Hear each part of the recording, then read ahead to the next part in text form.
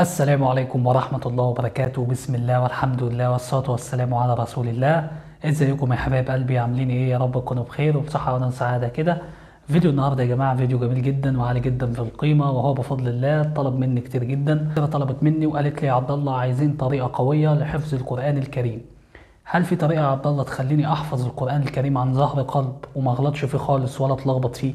ساعات يا جماعة بنلاقي ناس بيكونوا حافظين القرآن الكريم كاملا من غير يعني يا دوبك حتى تسأله في الآية في السورة وفي رقم الآية تلاقيه على طول بيقولها لك وتلاقيه حافظ القرآن عن ظهر قلب. هل دي بتبقى منحة يا عبد الله ولا في طريقة قوية تخليني أحفظ؟ مش شرط القرآن الكريم أحفظ أي حاجة. بإذن الله يا جماعة النهاردة أنا جاي لكم بمفاجأة وهي بفضل الله طريقة فعالة وقوية جدا لحفظ القرآن الكريم والحفظ ده يا جماعة يعني أنت هتحفظ القرآن الكريم كاملا عن ظهر قلب اللي هتحفظ فيه القرآن الكريم بفضل الله هيبقى في وقت قليل وهيبقى صفحة يوميا. يعني أنت هتحفظ صفحة يوميا بس بعد المدة اللي أنا هحددها لك اللي أنا هقول لك عليها يعني هتبقى حافظ القرآن الكريم كاملا وده تحدي. يعني يا جماعة ده تحدي وده عن تجربة. تحفظ القرآن الكريم إزاي يا عبد الله؟ إيه إيه, إيه الطريقة؟ طبعا يا جماعة الطريقة دي علمية بحتة. يعني الطريقة دي علمية. في البداية قبل ما أشرح لكم الطريقة أنا عايز أقول لكم حاجة. في نوعين من أنواع الذاكرة. في ذاكرة اسمها ذاكرة قصيرة المدى وفي ذاكرة اسمها ذاكرة طويلة المدى. الذاكرة قصيرة المدى دي اللي انت أول ما بتيجي بتحفظ بتنسى بعدها على طول. دي قصيرة المدى.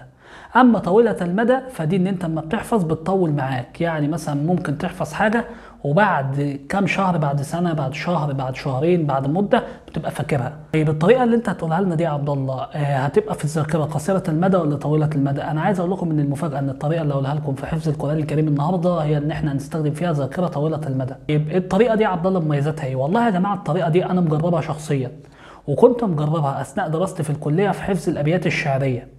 أنتوا عارفين طبعا يا جماعة إن الأبيات الشعرية صعبة يعني الأبيات الشعرية اللي هي أبيات الشعر ونحفظ 500 بيت شعري و700 بيت شعري و400 بيت شعري الكلام ده صعب جدا لأن الشعر صعب. الشعر ده نظم ولازم تحفظ البيت وتحفظ الأبيات بالترتيب فالشعر أصعب. أما القرآن الكريم فالكلام سلس يعني القرآن الكريم والايات سلسة سهلة سهلة الحفظ. عشان كده يا جماعة بإذن الله الطريقة دي نافعة جدا وقوية جدا فوق ما تتوقعوا طيب نعمل الطريقة إزاي يا عبد الله؟ بصوا يا جماعة خير الكلام ما قل ودل. أنا هقول لكم دلوقتي على طريقة بفضل الله. لو أنتوا طبقتوها بإذن الله هتحفظوا القرآن الكريم كاملا دون نسيان عن ظهر قلب. في مدة بفضل الله لن تتجاوز العام ونصف.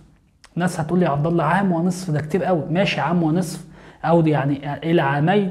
بس أنت تبقى حافظ القرآن الكريم كاملا. عارف عارف يعني إيه حافظ القرآن الكريم كاملا عن ظهر قلب؟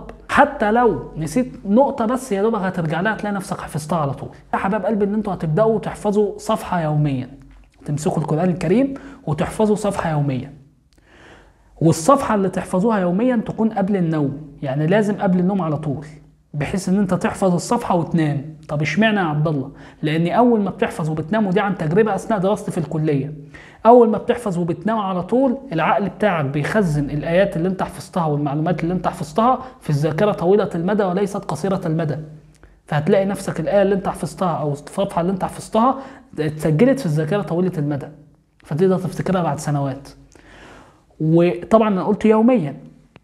واليوم اللي بعده يعني انت حفظت النهارده صفحة. اليوم اللي بعده قبل ما تيجي تحفظ قبل النوم برضه قبل ما تحفظ الصفحة الجديدة تراجع على الصفحة الأولانية وتحفظ الصفحة الجديدة. واليوم اللي بعده تراجع على الصفحتين وتحفظ الصفحة الجديدة. طب في ناس بتقول لي أنا عبد الله براجع على الحفظ وبحفظ بس بعدها بدقيقتين بحس إني ناسي. طبيعي. طبيعي تنسى. الطبيعي النسيان عادي بس اسمعها مني. لو أنت طبقت الطريقة زي ما أنا قلتها لك عايز أقول لك ان انت حتى لو ناسي القرآن الكريم كاملا تقدر تراجعه وتراجع حفظه كله في يومين يعني في يومين. فتره لا تتجاوز اليومين بالطريقة اللي أنا قلتها لك. كل أسبوع كل أسبوع هتيجي مرة واحدة فقط وتراجع اللي أنت حفظته.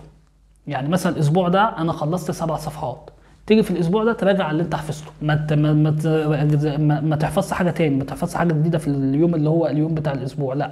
بعد سبعة أيام بتقعد يوم بتراجع اللي أنت حفظته. فضلوا ماشيين على الكلام ده لحد ما تنتهوا من حفظ القرآن الكريم كاملا. وخلي بالكم أنا قلت لكم يعني الصفحات اللي فاتت انسوها. يعني أنا الصفحات اللي فاتت أنا هنساها.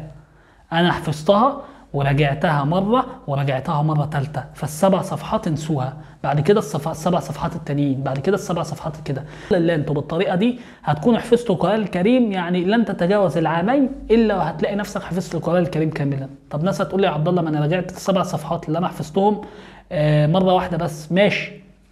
بعد ما تخلصوا الحفظ بعد ما هتخلصوا الحفظ انت هتتفرج لما تيجي تراجع قراءة القرآن الكريم وحفظ القرآن الكريم انت هتتفاجئ ان انت ممكن تراجع القرآن الكريم كله في أسبوع. ومش هتنسى نهائي يعني يا دوبك أول ما تقرأ السبع صفحات هتفتكرهم على طول. تلاقي نفسك لما تيجي تراجع القرآن الكريم كاملا بعد ما تنتهي من الحفظ مش هتكمل أسبوع إلا هتلاقي نفسك قدرت تراجع القرآن الكريم كله.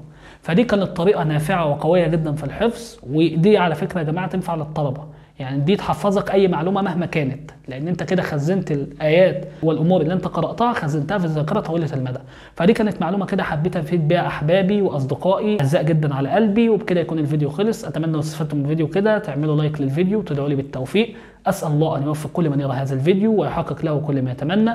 والسلام عليكم ورحمة الله وبركاته.